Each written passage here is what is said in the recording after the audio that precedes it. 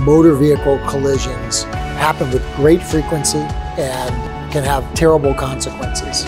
Even if you think that this is going to be simple, with the rules as they're set up in the state of Colorado, insurance companies can manipulate the circumstances in the situation.